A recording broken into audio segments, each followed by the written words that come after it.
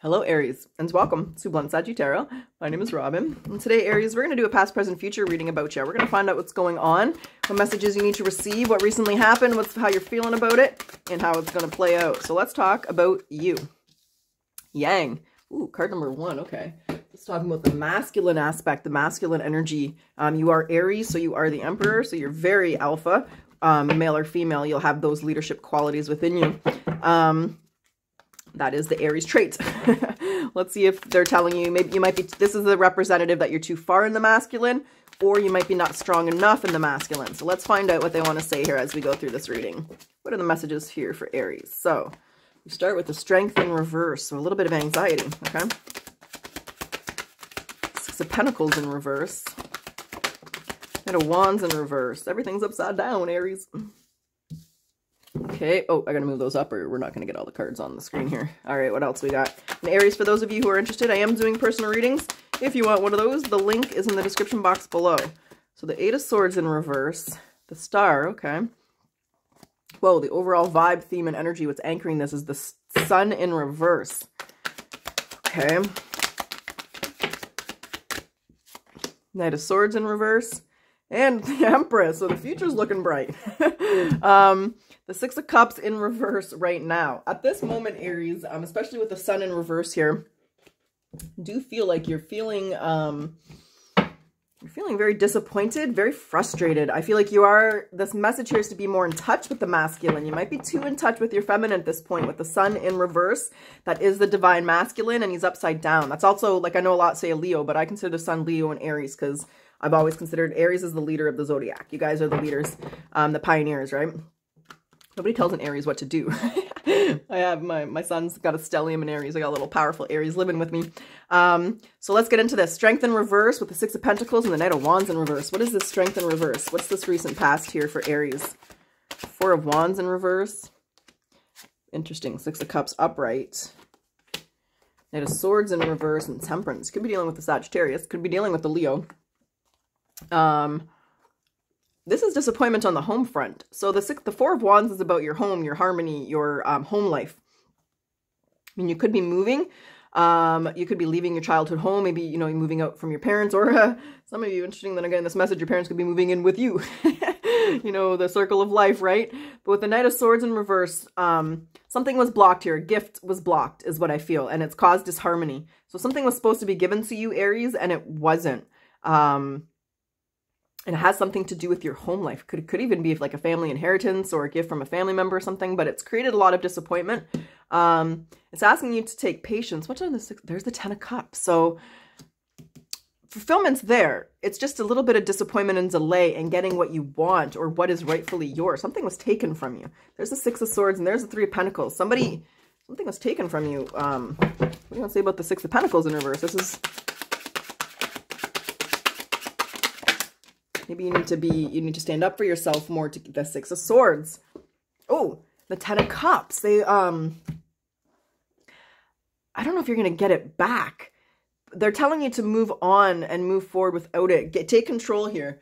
So something was, I mean, someone might have stolen something. I, for some reason, I'm getting an inheritance, but I feel like that's very specific. It's not like every Aries, but there's something that should have been given to you, whether it was from an employer, a friend, a family member, uh, legal team. I'm not sure. You were supposed to get something and you didn't get it.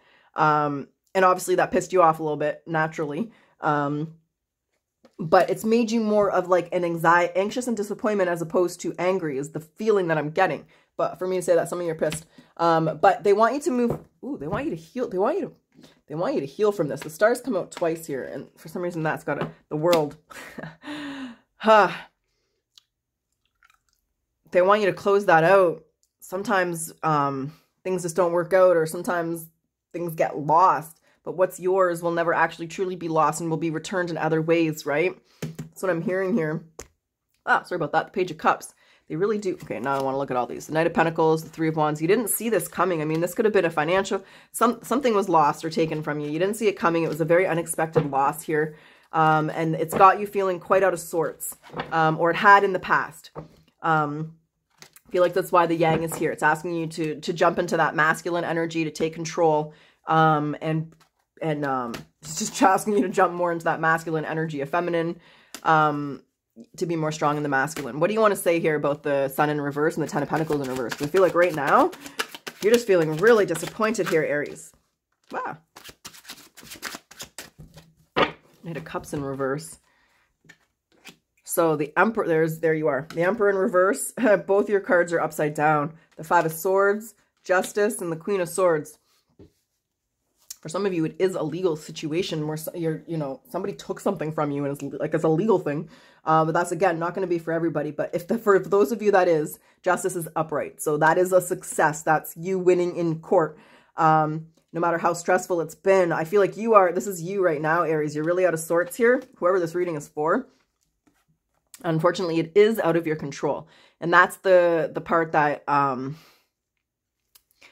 that's the hard part that you're going to have to accept. It is out of your control. Whatever was stolen or taken from you, as emotional as it makes you, as upset as it makes you, they want you to remove your emotions from the situation and just be really logical. This is both swords here. All three of these are swords with you upright or sorry, with you upside down. So I feel like that's a message, again, to get more into the masculine, into the mind, as opposed to the heart. Take your emotions out of the loss, um, which is real easy for me to say, but that's what they're, the advice they want to give to you in order to move forward and heal and move into a better place and get what's rightfully yours. Because like I said, you can't lose anything. Whatever was taken from you will be returned. Maybe that will be in court or in a different manner, but the universe always returns what was rightfully yours.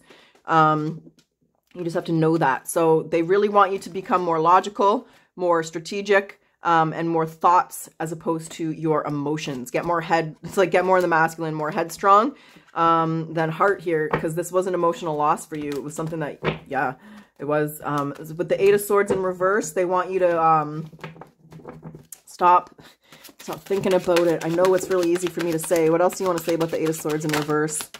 Thinking about it is just going to keep replaying that emotion, right? It's just going to, your brain, make the choice. Yeah. Oh, to stop. You got to put it behind you. I know. I know. I know it's hard, Aries, but um, the thing about the Seven of Cups, too, is like rub the lamp. This is the the genie. This is a card of Aladdin, right? When you rub, but there's all these different lamps. Some of them are empty. Some of, you don't know what you're going to get. Um, but they want you to make your wish um, for, and dream about the future. Because there's the Empress here. So, like, your feminine the masculine is upside down and the feminine's up. So I really feel like there's a strong message here to get more into the the masculine, which again is more of the the logic as opposed to your feelings. Um, and stop and stop overthinking about the past here. It's time. I know it's easy for me to say, Aries. It's time to move forward um, and heal from that. And you have, and you are. The star here, the Knight of Swords in reverse. I feel like that's you blocking it. Let's just see. What do you want to say about the Knight of Swords? And the Tower, or the thing about the star is, um, you only you only have the star after you have the tower moment, right? So you've been through some stuff and you're really healing for it, but see that big star? That's your true north. That's sorry, just hit the camera. I don't know how many times I've done that. That's your true north. That's your authentic self. So sometimes we have to go through those losses, those obstacles, those challenges, um, in order to really know who we are, in order to grow as a person. Um, and I feel like that's what the universe has done here, whatever that loss was. But again, here's the Queen of Wands. So know who you are because you are coming up as the Emperor, the Empress, the Queen of Wands. You're very balanced, but this has thrown you off kilter here, Aries. This loss, it's been a very emotional. Um, but don't forget who you are. So here's the feminine aspect again. So, I mean, I know I said be headstrong, but don't forget that feminine part too. I thought that was, I thought that was a hair. Sorry about that. But I'm being drawn to those leaves, I don't know why. Um, but, um, move forward. That's all I can say. They want you to move forward. Better things wait for you. What's lost will be found. What's yours will be returned. There's the queen, or there's the, the queen. There's the fool. New beginnings are here for you, um, and they really need you to um, release the past. With the Queen of Pentacles, release that overthinking about the past. Release those. It's like a mental um, prison, the Eight of Swords, right? You're placing limitations on yourself. You're reliving these negative moments. You're going through those fears, those anxieties. So, ah, you have a fear of it happening again. But it won't because you learned from it. The star is here. That's your healing. That's taking the time to learn your lessons from it. That's taking the time to understand what makes you happy. Because that disappointment is going to turn into satisfaction. It always does. The way the universe works is they always pull put shit in front of you before they give you everything you want. I don't know why. You got to earn it. Okay, but this is an ego trip. This is very difficult to accept this loss, but sometimes we just have to accept what is we cannot change. We cannot change it. It's out of our control. I feel like that's a big lesson that you're learning right now here, Aries. So what does Aries need to surrender to when it comes to the situation? What does Aries need to surrender to?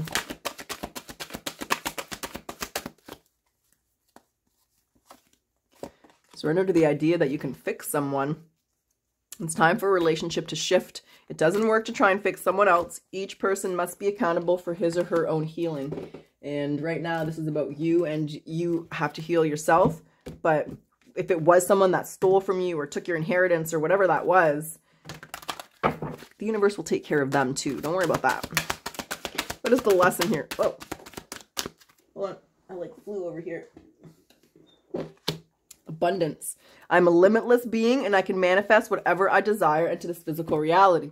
Just remember, but but if you're constantly focusing on that loss, that's what you're going to keep manifesting. That's why they want you to to to get out of those thoughts and to push those the past behind you to propel yourself to a better future. Allow the universe to return what was taken.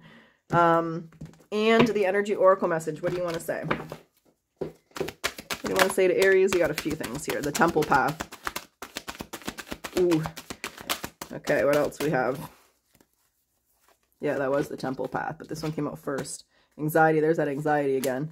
There's the first chakra, and there's blossoming abundance. So uh, this is, um, I know it's, uh, this is your journey. You're on the right path here. This was something that was meant to happen. Um, it was a lesson that was meant to learn. Um, sometimes we have to remember this. If you're anxious, you're living in the future. If you're depressed, you're living in the past. So remember to live in the present because it's a gift. Those are Lao Tzu's teachings, right?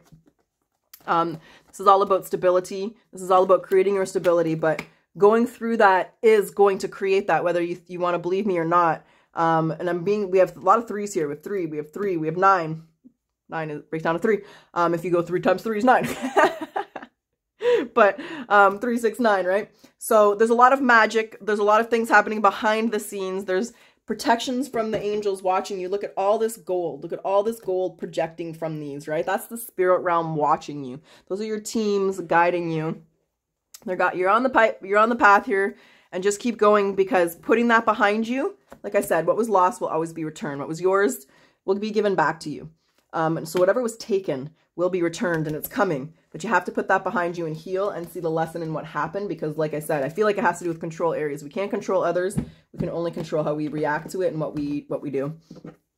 So let's get your potential outcome areas. Let's find out where you are in a month. So I say potential because there's always free will. And then I say outcome because, you know, where are you in a month? How are you doing? Are you in the Empress mode still manifesting? Have you mastered this? Have you started this new beginning? Is it starting? Are you're starting to see the fruits of the labor? What's going on here?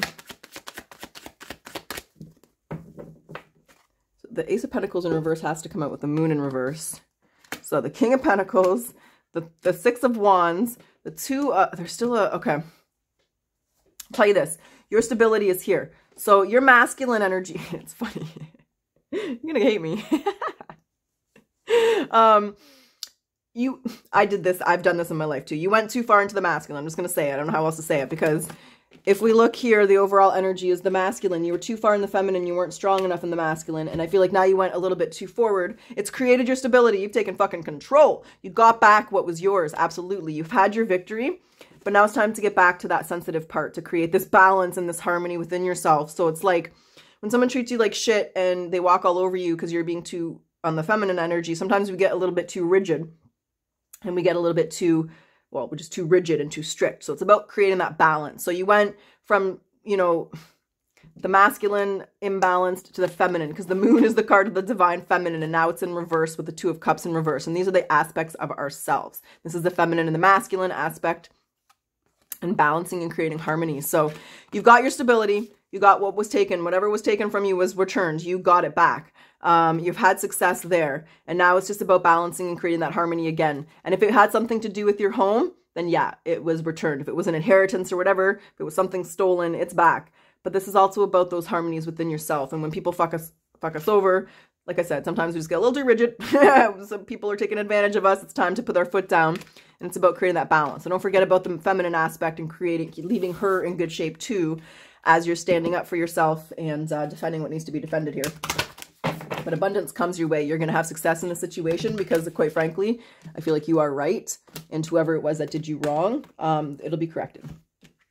So Aries, that's what I have for you. I hope you enjoy your reading. I hope it resonates. I hope it benefits you. If you like my style, don't hesitate to like, comment, subscribe. I always appreciate it. Helps others to get my or to help helps my channel to grow. It helps others to get the reading. Let's get your final message to close this off for you. How have you loved yourself is how you how you love yourself is how you teach others to love you. So picture what it would look like to be loved and appreciated by the world in just the manner you most desire. Channel this image as you move throughout the day. Again, it goes perfectly. I love tarot. Aries, thank you so much for watching. I wish you the best of luck. Until next time.